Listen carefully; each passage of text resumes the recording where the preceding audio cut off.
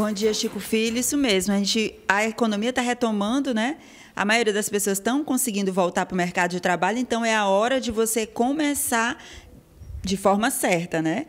Eu vou falar com o Alexandre, Alexandre Rocha, que ele é consultor financeiro. E, Alexandre, bom dia e obrigada pela presença. Bom dia, eu que agradeço. É, o índice de endividamento do brasileiro hoje é o maior em 11 anos, né? Onde as pessoas estão errando? Isso. É, o Brasil, né, a população brasileira, ela utiliza muito cartão de crédito. Isso, querendo ou não, acaba sendo uma das fontes de endividamento é, mais usuais né, dentro da nossa população. Isso acontece muito por causa do parcelamento. A gente vai utilizando o cartão, vai utilizando e acaba não vendo esse gasto né, que, que vamos fazendo ao longo do mês. Isso acaba gerando a famosa bola de neve do endividamento. Você acaba pagando é, fatura mínima, você acaba começando a pagar juros demais, e aí a dívida vai crescendo, crescendo até é, é, se tornar insustentável. Né? Então, o principal ponto é o cartão de crédito. Né? Se a gente fosse escolher um vilão, seria o cartão de crédito. Mas, além disso, nós temos os outros tipos de financiamento. Né? Então, a gente tem que tomar muito cuidado com financiamentos imobiliários, financiamentos de automóveis. Tudo isso é, é, compõe um quadro né, que acaba endividando a população de maneira geral. Como é que deve ser feita a divisão de um orçamento familiar? Existe essa divisão? Quantos por cento para renda para gasto fixo, para supermercado? Pronto. Isso varia muito de família para família, tá? Porque a gente sabe que cada família tem sua característica é, é, particular, mas assim, primeiro ponto é você priorizar as suas despesas fixas e essenciais. É a alimentação, é a conta de energia, a conta de água. São contas um pouco mais é, é, importantes dentro da sua casa. Então, essas têm que ser privilegia privilegiadas. Além disso, é muito importante também você ter o equilíbrio das suas contas. Então, você vai separar um dinheiro para o seu lazer, desde que esse dinheiro também não passe muito é, do seu do seu orçamento mensal, né? do seu ganho mensal. Porque é, é muito importante ter esse equilíbrio. Né? Você tem que gastar, você tem que economizar, mas também é, é, é, tem que viver. Né? Você tem que aproveitar também ali sua vida. Como é que eu evito esse tipo de dívida que compromete o orçamento familiar? Pronto. A melhor opção é você ter um controle do seu orçamento. Para você ter esse controle do seu orçamento, o que eu indico é você anotar tudo. É muito importante você fazer isso. No começo é um pouco mais difícil, você vai ter um pouco mais de dificuldade para ir anotando, mas vale muito a pena. Esse é um diferencial muito grande dentro do seu orçamento, né? dentro de suas finanças. Você vai melhorar muito a partir disso. Então é muito importante que você anote. Eu, particularmente, recomendo você utilizar um aplicativo tá, de celular, porque facilita muito, está sempre com você ali o seu celular. Então, isso é, é bem mais fácil, torna mais fácil essa, essa, é, é, essa tarefa.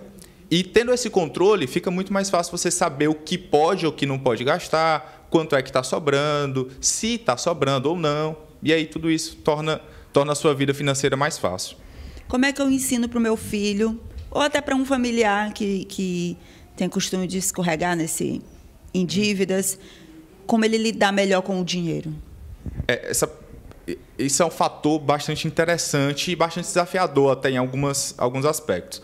Mas o principal fato é, primeiro, a educação financeira, né? você tentar passar conceitos de educação mesmo financeira, passar, é, é, mostrar quanto é que custa, né? porque às vezes, muitas vezes, os nossos filhos não têm é, conhecimento, por exemplo, de quanto é que está custando aquela comida no supermercado, quanto é que está custando uma conta de água, uma conta de luz, mostrar isso. E, além disso, é, quando, é, é, se possível, né, você trabalhar com as mesadas, né? Se você tiver a, a, condição de fazer isso, é interessante porque desde pequeno o seu filho é, é, cresce tendo essa, essa habilidade, né, com dinheiro. É, é, e a responsabilidade também de comprar coisas a partir do dinheiro que ele vai recebendo ali mês a mês. Essa mesada, ela seria de quanto? 100 reais ou 10 reais? Uhum. Pronto. Isso também depende muito da família, né? Mas você pode começar com um valor pequenininho e aos poucos, a partir do momento que, que a criança for crescendo, você ir aumentando também.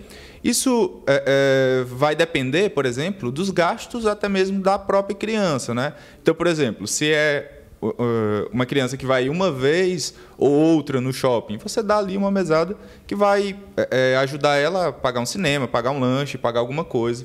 Então você vai ajustando com base nisso.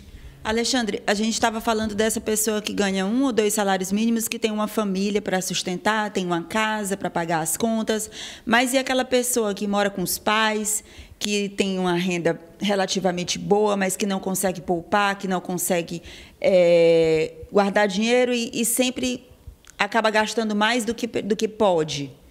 Como é que ela pode começar a mudar essa realidade? Pronto. Para esse tipo de, de, de pessoa que já tem uma renda maior e tem uma capacidade de poupança maior, né, que não tem tantos gastos fixos, o principal ponto é anotar. Tá? Você tem que ter o controle das suas finanças. Esse é o ponto primordial. A partir do momento que você tem o controle, você sabe para onde é que seu dinheiro está indo, se é saída de final de semana, se é comprando alimento de, de delivery, enfim, você vai saber para onde é que seu dinheiro está indo e a partir desse momento você consegue mirar nesses ralos né, de, de, de dinheiro, que é para onde seu dinheiro está saindo ali mês a mês, e você estancar, né, você parar de gastar naqueles pontos. E aí, a partir do momento que você faz isso, você consegue poupar, né, começar a poupar um pouquinho mais, e a partir de então começar a fazer uma reserva, começar a investir, enfim, né, você consegue ir controlando um pouquinho mais suas finanças. É, quando você vai fazer uma dívida, quando você precisa fazer a compra de um, um bem que é um pouco mais caro, como um celular ou, ou até mesmo um carro, eu, é melhor eu poupar para comprar à vista ou eu parcelar?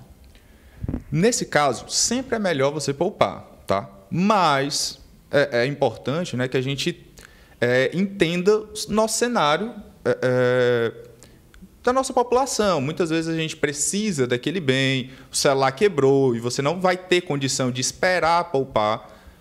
Caso isso aconteça, caso você não consiga poupar, né, você não, não tem essa possibilidade, você pode sim parcelar, desde que você entenda que o seu futuro vai ficar um pouco comprometido. Tá?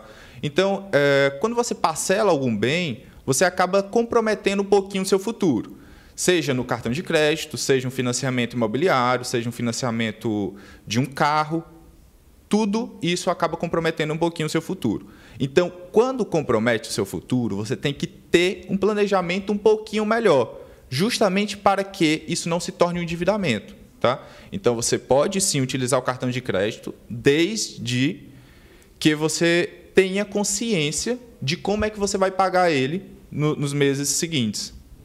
Alexandre, você é consultor financeiro.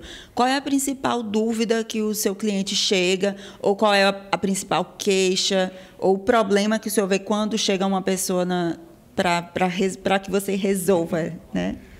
Pronto. É, dentro dos principais problemas, né, além de investimentos e, e tudo isso, na parte de finanças em si, é, nós temos os financiamentos imobiliários, né, que muitas vezes é, a população acaba é, se empolgando com um imóvel, alguma coisa assim, não entende bem o contrato desse imóvel e acaba fazendo um financiamento é, sem entender que é, possivelmente terá correções monetárias, juros e tudo mais, e aí a prestação acaba subindo mais do que tinha se planejado, acaba saindo um pouco do controle pelo fato de não entender bem esse contrato. Tá? Então a gente faz né, todo esse estudo do, do financiamento e ajuda ali a, a, a ter algumas saídas né, para esse financiamento. Certo. Pois eu gostaria de agradecer a sua presença. E quem tiver alguma dúvida sobre finanças, quiser entrar em contato com você para até mesmo buscar uma consultoria, onde é que ela lhe encontra? Pronto, eu que agradeço. E vocês podem me seguir pelo Instagram, arcfinanças, que lá a gente está sempre postando, sempre falando um pouquinho sobre finanças, sobre investimentos e tudo isso que envolve a economia. Certo. Lembrando que essa entrevista na íntegra você confere daqui a pouquinho no portal a10mais.com.